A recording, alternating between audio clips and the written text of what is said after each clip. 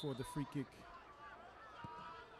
And it's well driven in, and it's another chance for Trinidad and Tobago. First man to it is Kerry Baptiste. He gets the second. Simple as that. And Baptiste scores twice in the second half.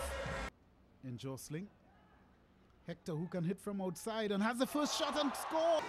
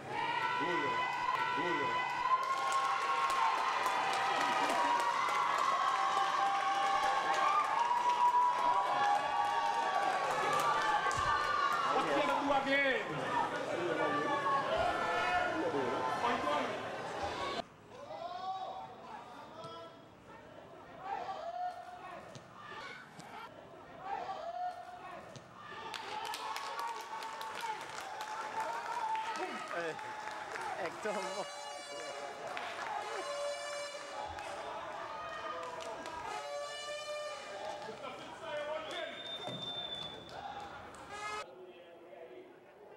Hector with the shot, bringing out a quality save. There should be a goal. Reply. And- Oh, mistake at the back here. Hector, it's a goal. Got Oh my word! The goalkeeper. That had to be a goalkeeping error. He was at the Ball. He was down at the, at the near post. I don't know how that went through. Hughtun Hector getting the go-ahead goal for W Connection. There it is on the on the replay. A powerful shot at the near post. The goalkeeper should have covered it. It slipped under the goalkeeper into the back of the. The goalkeeper, yes, but the defenders on both teams look quite solid to me. Oh, this is a good opportunity. Goal number oh. three. Can hit the byline, they can get the balls across. Brito. He's going to try for shot.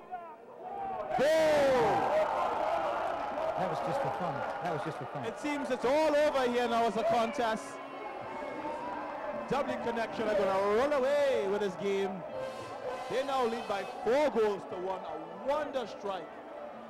Goalkeeper not having any chance at it. There you see the strike. Tipping all into the corner.